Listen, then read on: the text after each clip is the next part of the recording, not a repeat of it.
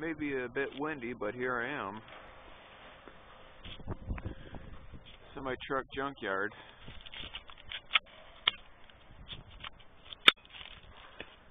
What I need is some air horns.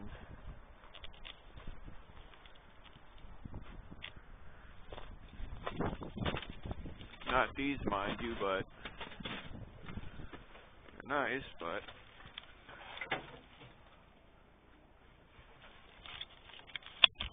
ain't what I'm looking for. I just want to see how the linkage looks like.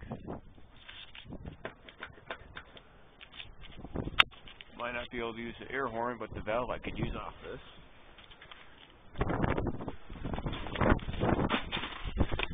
And for the record, besides it's being windy, it's only 12 degrees out.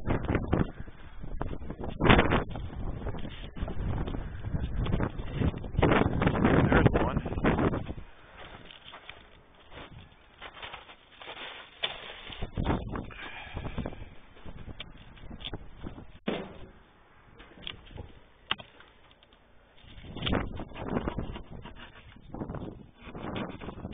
No, no air pressure.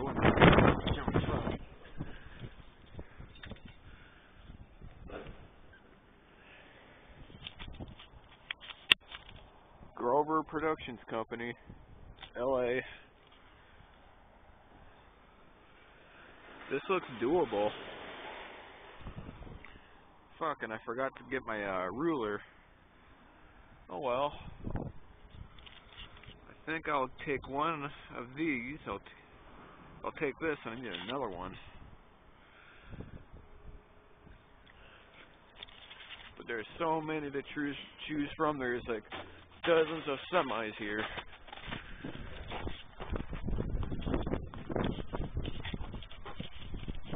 Sorry about that. Got the focuses off. There's another one. Flathead Mack.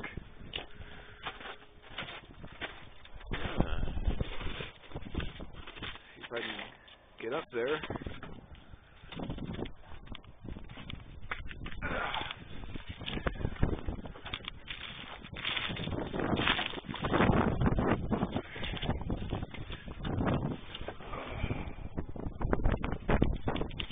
Bear with me.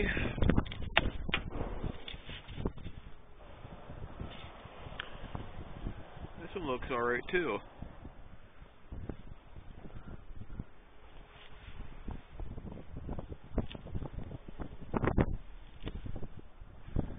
Alright. There's another one over there too. Lots to choose from, that's all I know.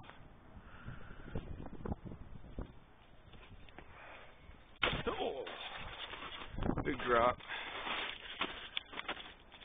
I wish it was warmer out.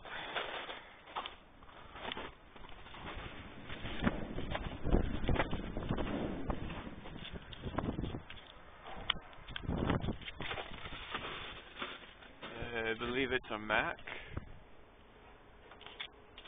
Oh.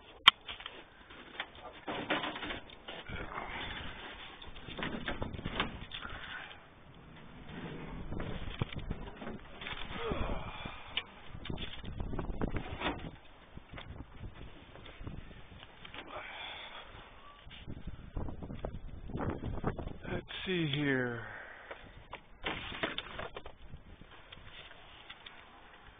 Uh huh.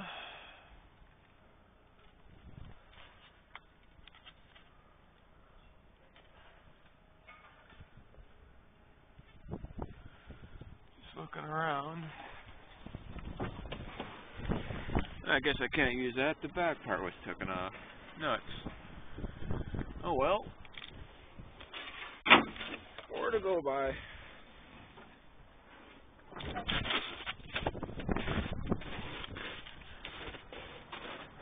Well, it's too cold to do this and take an air horn off at the same time, but you know, what- you know what I'm here for, so cut you guys off and get back to you. I'll a pair ready to go. So one of the so one of these trucks gonna be is gonna be the lucky one. I'm gonna part out. Which one I don't know yet, but I'm gonna still look and hopefully I'll get lucky and I'll find one. Get I'll get back to you guys. Well, I think I'm going to go with this Mack uh, cab over because it's going to be easy to get at. I even brought my own uh, portable uh, air tank to bleed the lines to see if the air horns will actually, will actually sound. I got about 100 psi in there, and that should be that should be enough. Eh, that's this this way. All right. Get inside this thing. It's gonna be tricky.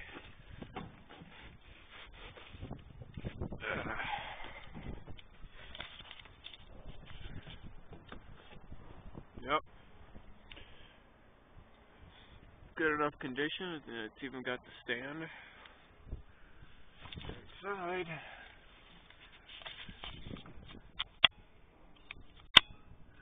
That's what I need, and I'm gonna cut that airline there and lead it through and have that horn sound, and, and, that's, and that's what I'm gonna do first. I'm gonna cut that and get it to sound, and I'll get back to you guys in a second, get, the, get all this set up, and let you guys hear what it sounds like. Hopefully this should all work. I got the air horn off.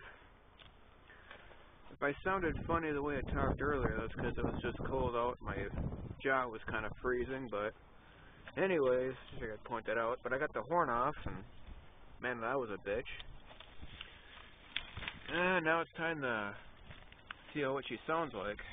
Got my uh, air tank all ready. Now I'm prop this somewhere. Uh,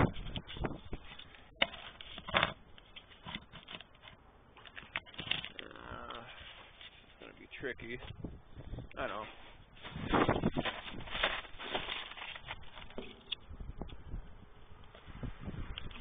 Lay it on your slide lay it on its side. Yeah, you can see it. Got the horn resting on the tire, and I'm gonna see what she sounds like in a second.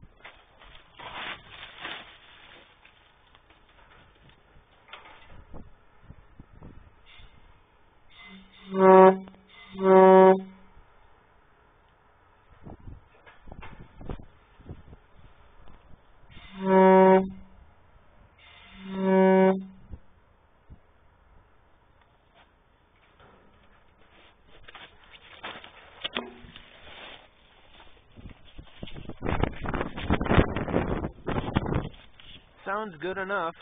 Now I gotta get another one and the, and the neck stand for it. Still gotta get that uh, linkage there. This one works. On to the next step and get some more parts.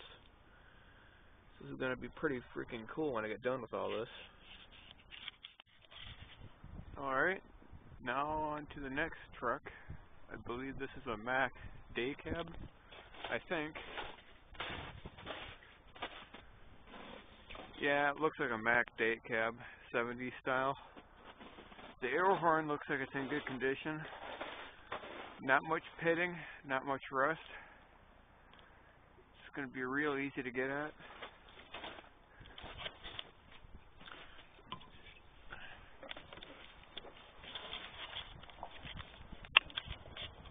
The back plate is pitted, but you can screw them and get uh, newer ones. And that one's a different style, so, so what I'm going to do is I'm going to swap out both of these, and I'm going to put in a better condition plates. That way they look similar. They're the same size, but that's what counts. And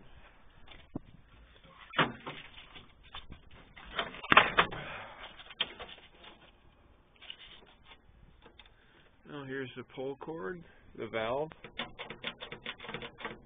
not seized. On the last truck I showed you, I did take the valve out, but it was seized, or maybe there's water frozen inside. But this one ain't. I'm not going to take that last valve, because I don't, the ice could have probably damaged it. I'm not going to take this valve, but there's a certain kind I need, and I'll show you that later on. But for now, I'm going to take this horn out. Actually, I'm gonna cut that line and bleed it and see if I can get that horn to sound. So I'll get back to you in a minute and we'll see what this one sounds like.